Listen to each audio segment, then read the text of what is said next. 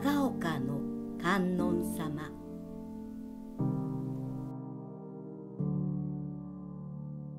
ずっと昔の昔のこと。何しろ900年も1000年も昔の平安時代で有名な藤原一族の勢いが強かった頃醍醐天皇の昌平年間とか御一条天皇の長元年間とかにあった物語やその頃お薬師様の願光寺は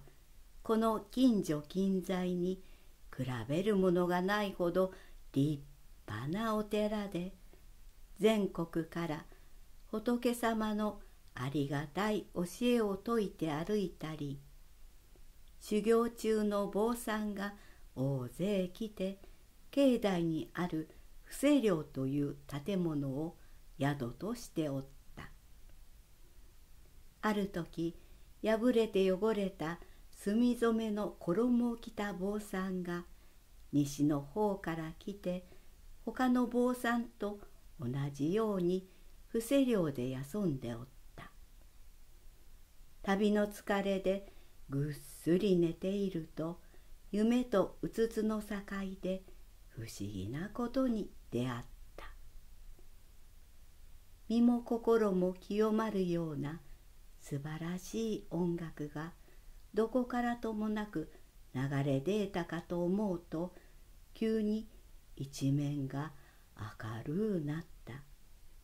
これはこれはと思っていると何人かの天人が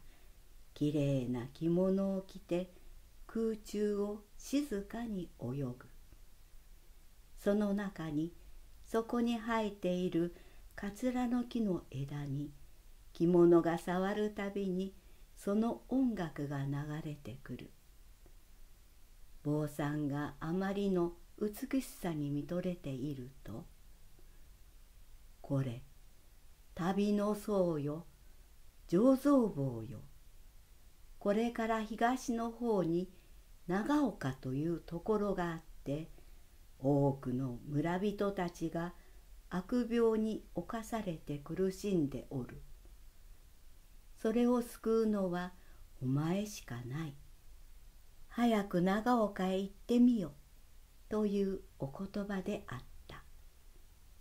醸造坊はありがたい天人の教えの通り草深い長岡へ行くとお告げのように病人が多かった。長岡の裏の山の天人峠に何百年も経った。古くて大きいかつらの木がある。その木を切って仏像を掘れという天人の声に従って木こりを二人連れて山に登りかつらの大木を切りそれで一体の観音様を彫り小さい祠に祀って熱心に病気が早く治るように拝んだ。すると病人は全部良くなったので村人は醸造棒を仏様やとか仏様のお使いとしてまた願光寺の薬師如来様の生まれ変わり屋として敬いいつまでも住んでほしいと願ったけれどもいつの間にか東山道を下っていってしまった。